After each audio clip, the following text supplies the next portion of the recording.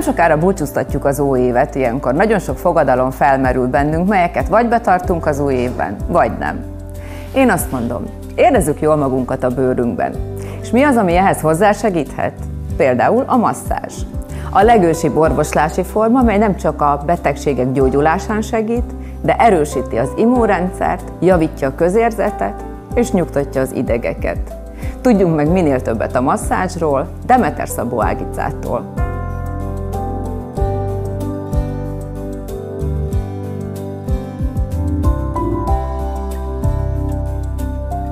Amikor megbeszéltük, hogy találkozunk, akkor egy nagyon női, tipikus probléma jutott az eszedbe. Vajon lesz-e manikűröd? Bizony. Látom, manikűröd lett. Igen, örömmel, örömmel jelentem, hogy van.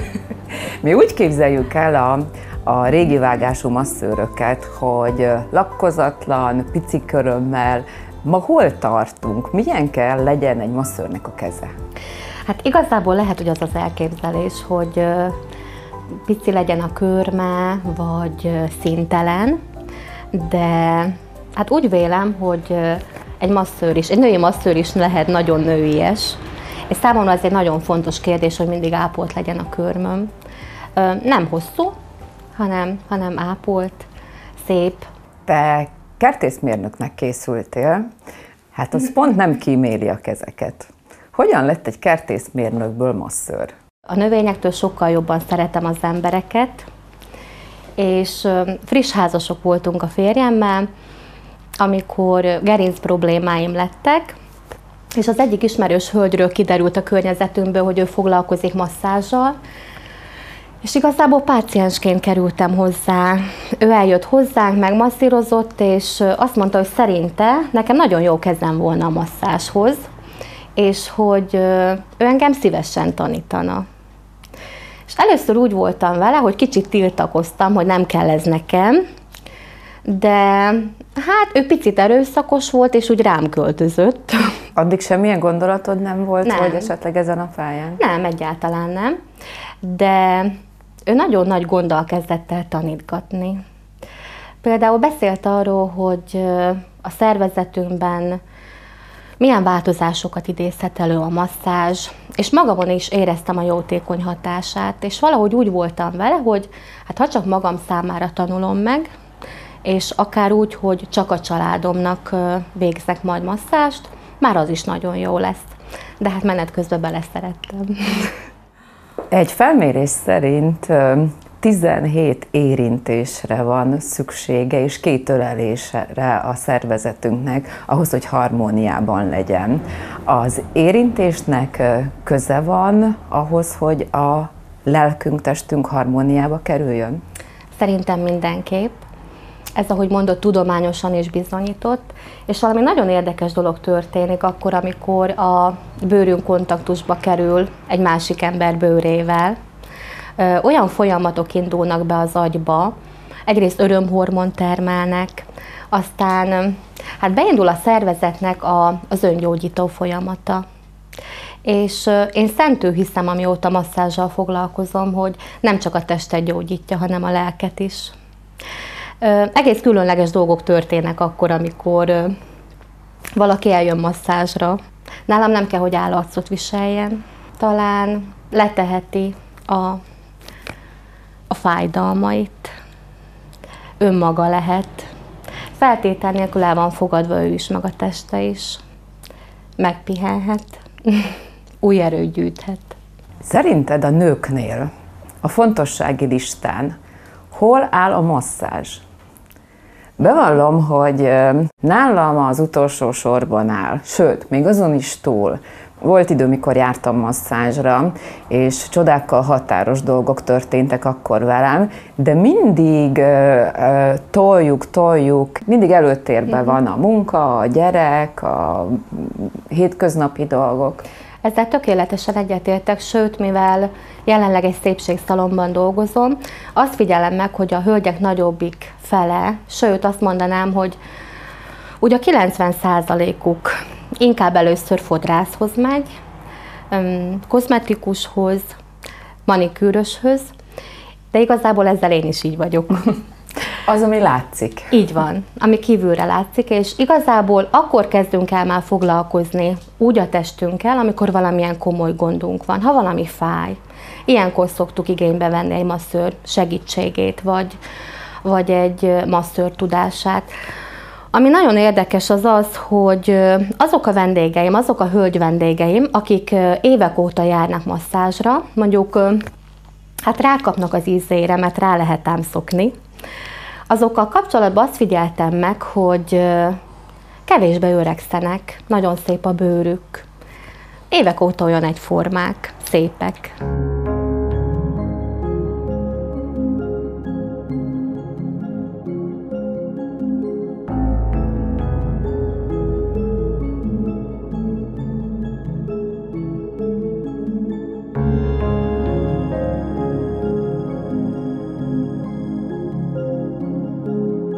A masszázs az egy legősibb orvoslási forma, és ha visszanyúlunk a történelemben, akkor abban az időben a nők és a férfiak többet áldoztak, hogy a testük harmóniában legyen.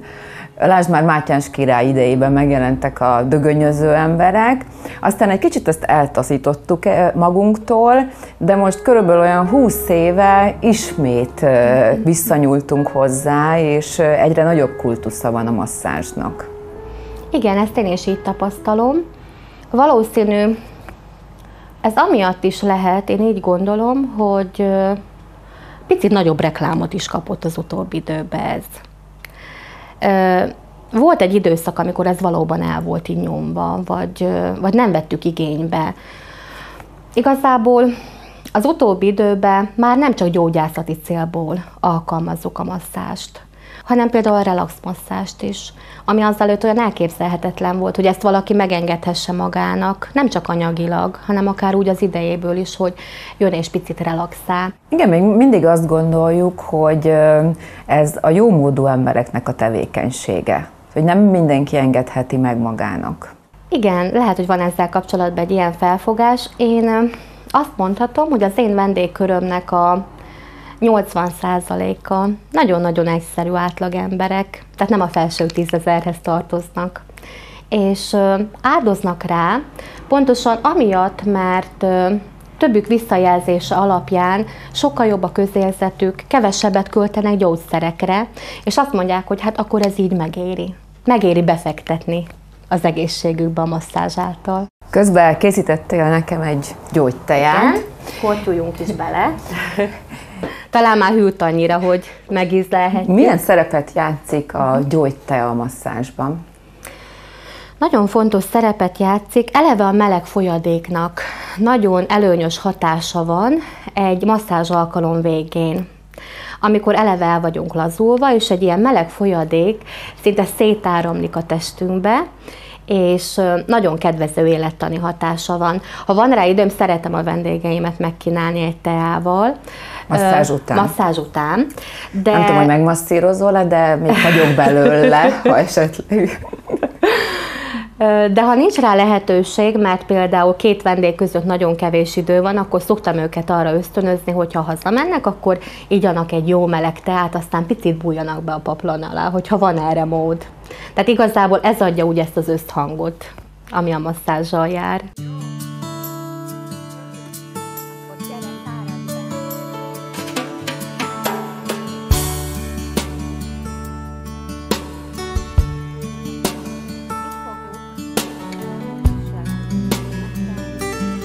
Több mint 80 féle masszást használnak világszerte.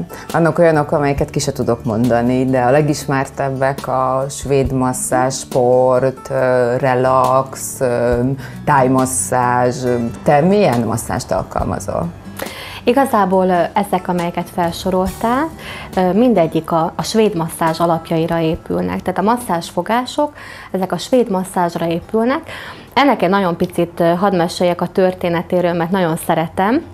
Az 1800-as években egy Ling nevű férfi, aki vívómester volt, és gyógy hát végül is gyógytornász, ő észrevette azt, hogy a fiataloknak a teljesítő képessége, azok, akikkel foglalkozik, sokkal nagyobb és sokkal jobb, hogyha alkalmazza a masszás technikát. És igazából ő fejlesztette ki a svéd masszázsnak az alapjait. Többféle masszást alkalmazok, igazából mindegyik a svéd masszázsra épül, de ezen belül gyógymasszást is, kozmetikai masszást, cellulit masszást, hát és részmasszázsokat, mint például a hát, a láb, vagy akár a reflexmasszást is. Ezt nem tökéletesen űzöm még, de nagyon szeretem. Svédországban azt hiszem, hogy iskolában érettségi előtt is bevezették a svéd masszást. Nagyon érdekes, erről nem tudok, de szuper dolog. Serkenti a gondolkodást. Uh-huh. Milyen panaszokkal jelentkeznek nálad leggyakrabban a paciensek? Az esetek nagy részében hátfájásra panaszkodnak, vagy a derekuk fáj nagyon, esetleg fejfájással küzdködnek, vagy miután már többféle orvosi véleményt meghallgattak, és mondok egy példát, egyik kliensem, és azóta számos van már belőlük, karzsibadásra panaszkodott, nagyon zsibbadt a bal karja. Mi az első reakciónk és félelmünk ilyenkor? Szív. Biztos baj van a szívünkkel és miután végigjárta az összes vizsgálatot, kiderült, hogy igazából szerencsére a szívének semmi problémája nincs, hanem egy becsípődött idegszám okozza a panaszokat, és néhány masszázs után a zsibbadás az megszűnt és elmúlt. Ezt olyan jó, hogy hallom, mert volt egy időszak, amikor én is elég gyakran arra ébredtem éjjel, hogy elzsibbadt az az oldalam, amelyiken alszom, és cserélgetni kellett többször, akkor ez egy idegbecsipődés idézheti elő. Igen. És hogyha már a hölgyeknél tartunk, akkor nagyon sok esetben a nehéz táska is okozhat ilyen tüneteket. Mondjuk rám az jellemző, hogy bármilyen nagy a táskám, én képes vagyok arra, hogy telerakja. Mert mi nincs egy női táskában? Van. Rend. Igen. És általában egy oldalt hordjuk a, a táskát. Ez a gerincet terheli? Igen, igazából azért veszélyes ez, mert talán először nem veszünk észre semmilyen negatív tünetet vagy problémát, de idővel tartáshibák is kialakulhatnak mm, tőle, sőt a derekunk is fájhat. Ez nyilván amiatt, hogy egyenlőtlenül oszlik el a teher, vagy csak egy oldal terheli. A stressz milyen hatással van a szervezetünkre, testünkre? Talán nem is gondolnánk, hogy mennyire hat ránk a stressz. Például gondol csak arra, hogy hányszor alkalmazzuk azt a kifejezést, hogy a vállán viszi a világ terhét. És általában mi az, ami úgy először fájni szokott rajtunk? Hát a vállunk, a hátunk, és a stressz miatt kialakul egy ilyen, egy ilyen szorongó, összehúzott testhelyzet, ami előbb-utóbb ahhoz vezet, hogy tényleg problémáink problémáink vannak. Volt egy olyan helyzetem annó nagyon régen, kiderült később, hogy stressztől nagyon fájtak a vállaim, hajhullást eredményezett, megvettem a gyógyszertár összes samponját, semmi nem segített, és aztán utolsó pánikhelyzetben eljutottam egy masszőrhöz, az megnyomogta a vállamat, szinte visítottam a fájdalomtól, de öt alkalom után megszűnt a hajhullásom. Bizony lehet ilyen jótékony hatása. Gondol csak arra, hogy azok a területek, amik összehúzódtak és ilyen, hát ilyen lerakódások alakultak ki, ilyenkor több vérkeringés kapnak, megindul a salaktalanítás, és friss oxigén jut az agyunkhoz. Nagyon érdekes az, engem mindig csodálatba ejt az, hogy az indiai nőknek milyen gyönyörű szép a hajuk. És náluk pedig Köze van a masszáshoz? Igen, tehát náluk tradíciója van a masszázsnak. És hát, hogy vagy ezért, vagy csak simán genetika, nem tudom, de ez olyan, olyan szépen hangzik, és szerintem van is benne valami. Tehát azok a vendégeim például, akik erős fejfájásra panaszkodnak, nagyon sok esetben a gond visszavezethető arra, hogy van valamilyen csomósodás itt a, ezen a csukjás izomnak nevezett izomszakaszon, és masszázs végén általában mindig azt mondják, hogy megkönnyebbszik, jobban érzik magukat, néhány alkalom után akár a migrényszerű fejfájás is csökkenhet, és egy-két visszajelzés pedig az, hogy megáll a hajhújlás, és egy ilyen élettel teli, fényesebb haja végeredmény. Vannak úgynevezett alternatív masszázsok, és a mézmasszázs is ide tartozik, de én a masszázsról semmit nem tudtam. Az édesanyámnak, mint ahogy mesélted, ilyen csomók voltak a vállában, jött a sorgornője, megkérdezte, hogy van-e itthon méz, és ő otthoni technikával bekente a vállát, a saját szememmel láttam, ilyen vákumot képezett a kezével, és a bőrön keresztül, a pórusokon keresztül kezdte kihúzni ezt a méreganyagot, amelyik összekeveredett a mézzel, és ilyen zöldes, fehér színre váltott. Ez tényleg a méreganyag volt? Igen. Igen, a méreg és salakanyag. Én egyébként a mézes masszást nem alkalmazom, de főleg amiatt, mivel szépségszalomban dolgozom, és kicsit problémás lenne utána a bőrfelület tisztítása, meg bevallom töredelmesen nem szeretem a mézet, fogyasztani sem, és nem igazán szeretek vele dolgozni, de egyébként igen, a mézes masszázsnak van egy ilyen hatása. Egyébként én alkalmazom a köpőzési technikát, ezt nem tudom, hogy ismered-e vagy hallottál-e róla.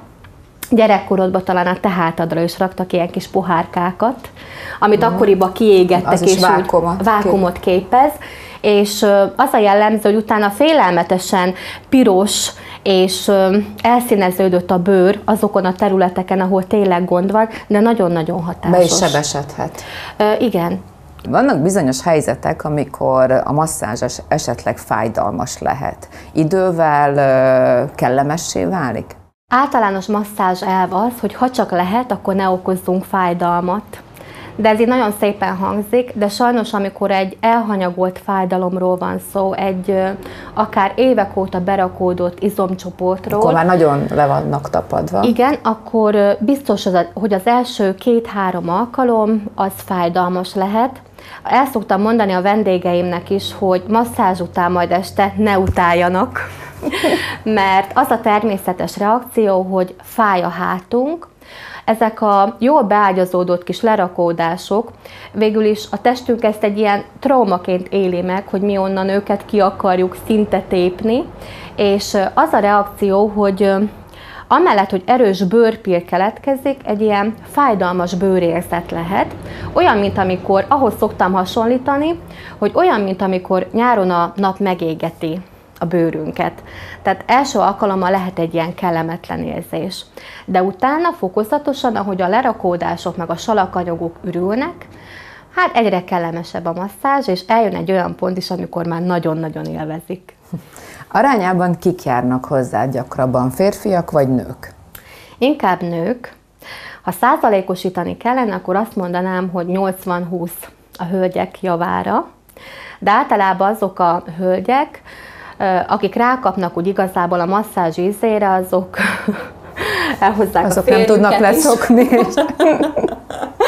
ők elhozzák a férjüket is, és vannak ilyen édes történetek, hogy amikor kéri a, a feleség a férjet, hogy picit masszíroz már meg a vállamat, akkor azt mondja a férj, hogy inkább befizetlek Ágicához. Menj inkább Ágicához.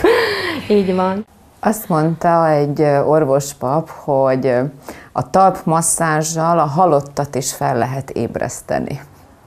Te erről mit gondolsz? Ez így nagyon jól hangzik. Ebben nem teljesen hiszek, abban viszont igen, hogy a talpmasszázsnak és a reflexmasszázsnak nagyon-nagyon jó hatása van a belső szerveinkre. Ha van kedved, akkor szívesen meghívlak most egyre. Nekem kedvem van, ha van türelmet hozzám, mert az én lábam nagyon csiklandós, úgyhogy lássuk, kibírom-e. Próbáljuk ki.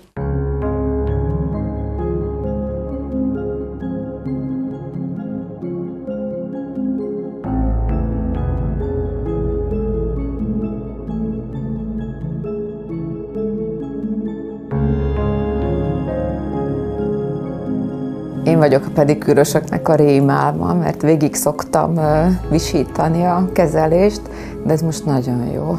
Hát lehet, hogy a pedikűrösök rémálma vagy, de viszont a masszőrök álma. a talpmasszázsnak egyébként nagyon jótékony hatásai vannak. Van egy olyan fogalom, hogy nem akarok nagyon tudományos lenni, de úgy hangzik, hogy reflexációs távolhatás – ez azt jelenti, hogy a talpon keresztül tudunk a belső szerveinknek a működésére hatni. Tehát ez nagyon érdekesnek és talán hihetetlennek tűnik, de A talpunk egyes pontjainak a masszázsával vagy stimulálásával egy-egy belső szervünknek a működését tudjuk erősíteni, elősegíteni. Nagyon sokszor, amikor van egy-egy probléma a szervezetünkben, mondjuk fáj a gyomrunk, akkor a talpon is érezhető ez, mint mondjuk most nálad is, hogy nincs rendben a gyomrod. Igen. Még nem vagyok egészen halott, csak fél halott voltam a héten, elkaptam egy vírust. És ilyenkor mit érez a masszőr? Olyan, mintha az érintett területen ilyen kis picike rízszemek lennének. És talán érzed is, hogy ahogy, ahogy húzom a kezemet, Érzem. olyan érzékeny, akár fájhat is. Igen. Jó, hát akkor most nézzünk meg egy-egy belső szervedet. Mi a helyzet a füleddel például? Szerintem többet is hallasz, mint kellene. Ez néha gond. Vagy ez a fejünknek a reflexpontja, a nagy ujjunk, vagy öreg ujjunk. Rendben, Ágica? Fejemben? Szerintem igen. Na de hát most megstimuláljuk, hogy jól működjön. Ez pedig itt a gerincünk vonala, és hogyha ezt a vonalat masszírozzuk, akkor jól érezhető az, hogy körülbelül a hátad közepén probléma van a hátaddal. Így van. Középtájékon. A táska. A táska. Különben ez nagyon érdekes, mert tavalyi évig nem volt problémám a táskákkal. Én, én, én nagyon nagy táskagyűjtő vagyok, imádom a táskákat. És tavaly egy orvos figyelmeztetett, hogy gerinc problémám van, elhúzta a táska, azóta nem tudok váltáskát hordani, vagy csak nagyon ritka esetben, és azóta fáj is. És nem tudtam eldönteni, hogy ez mennyire pszichés, uh-huh. vagy mennyire valóságos, de amióta ő közölte velem, azóta fáj a hátam. Szerintem minden hölgynek a problémája, hogy beszéltünk is róla. Sőt, akár hogyha a női dolgoknál tartunk, akkor a, beszélhetnénk a cipőkről is hogy milyen deformitásokat tud előidézni egy helytelenül megválasztott lábbeli. És ugye nálunk hölgyeknél mindig elsődleges szempont az, hogy szépek legyünk és csinosak. Igen. És kibírjuk a bármilyen cipő szorítását, csak hogy jól passzoljon a ruhánkhoz de ez idő múlásával akár tényleg komoly gondot is okozhat. És általában ezek a gondok tényleg nem egy-két év után jönnek elő, hanem, hanem akár 5-10 év múlva is. Kinek ajánlod a masszást? Hát azt mondanám, hogy születéstől a halálig mindenkinek. Egy pici csecsemőnek is, és egy aggassánnak is. Mindenképp jótékony hatása van. És milyen esetben nem ajánlod a masszást? Például, hogyha a szervezetben valamilyen heven gyulladás van, láz esetén soha nem masszírozzunk, mert akár egy 37 fokos lázat is fel tudunk tornázni egy masszázs után 38-39 fokosra. Ahogy említettem, gyulladt állapotban soha. Nem alkalmazzuk akkor, amikor valamilyen bőr probléma van, akár fekélyesedés, Régebben a szakirodalom azt mondta, hogy várandós kismamákat sem masszírozzunk, már a hál' Igen. Istennek ezzel kapcsolatban változott a nézet. Én azt mondanám, hogy vannak olyan szakaszok, amikor óvatosak vagyunk a masszázsal, és bizonyos testtájékok, amikor amelyeket nem masszírozunk olyankor, de én azt mondom, hogy egy kellemes, relax masszázs egy kismamának is nagyon jót tesz. Régen a masszázsról indították meg a szülést. Igen, ezért is alkalmazzuk óvatosan. Van egy mottód a munkáddal kapcsolatban? Igen, kettő. Az egyik egy szentírási gondolat, ami úgy hangzik, hogy bármit, amit tesztek, egész lélekkel tegyétek, úgy, mint Istennek, és nem, mint embereknek. Hát minden egyes vendégem, aki hozzám jön, minden egy, egyes vendégemnél igyekszem ezt alkalmazni, mert azt vallom, hogy a legutolsó vendég egy-egy masszázsnapon is ugyanolyan ellátást és minőséges munkát érdemel, mint a legelső. A másik mottomat pedig Adil Davis fogalmazta meg, ami valahogy úgy hangzik, hogy Ha megvan arra a képességed, hogy segíts az embertársaidon, ez a képesség megszűnik pusztán képesség lenni, és felelősségé válik. Köszönöm ezeket a hasznos információkat, és ezt a kellemes masszást, és az én mottom már, hogy legyünk harmóniában a testünkkel és önmagunkkal. Köszönöm. Uraim, ne feledjék, éljenek a nők!